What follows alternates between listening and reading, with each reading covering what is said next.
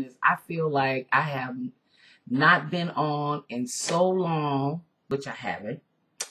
But I miss you guys so much. I watch videos and all that good stuff, and I have been going through it with my skin.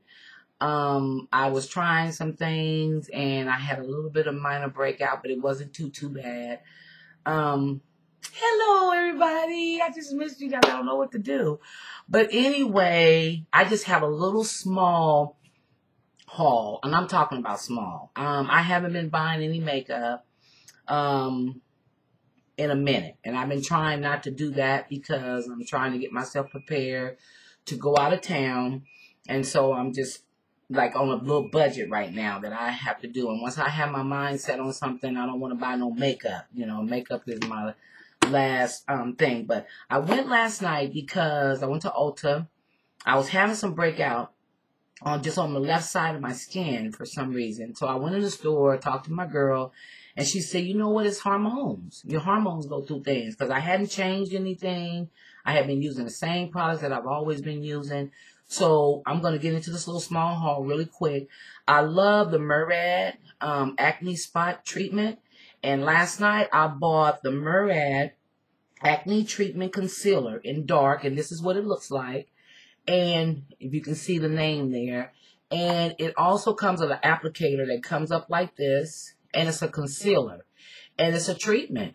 And I started it last night and where I seen the breakout and it's it's gone. I mean, it's it's diminishing um, where you seen the breakout happening. It was $21, but I tell you, this little thing here is worth it.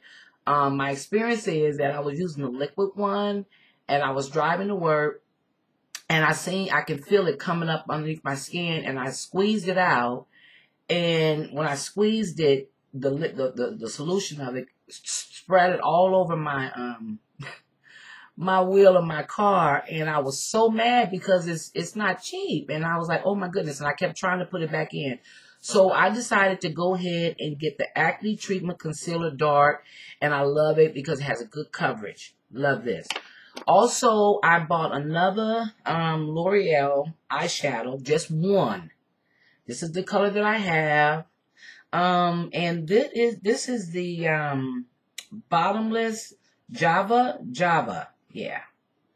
And I like this. Well, actually, I haven't even opened it. But anyway, if you can see, this is the color that I got right here. And I also um, was pretty amazed by mascara. I do a makeup group for my clients and, you know, I help assist them with, you know, just doing a little bit of something and, you know, make them feel good when they do makeup, put mascara on and whatnot. And we get people that are pretty high functioning and that means that they can, you know, put on the makeup. They have, sometimes they have their own products that they use and they do a wonderful job. Well, one of my clients had a mascara and it was by Revlon and I'm surprised I never seen this one. But she was doing her mascara. She was doing a wonderful job, and it was doing wonderful on her eyelashes. And I had to go buy this one.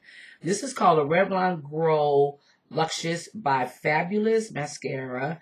Um, black is black, and this is what it looks like. And I love the, the big applicator on it. And as she was doing it, she just kept doing it. And I was like, girl, get on, girl. You got the lashes. And I mean, and they were out there. So I'm going to really, really try to work with this one because I love my mascara. But basically, that is my review on the few little, my little one, two, three things, three things that I purchased.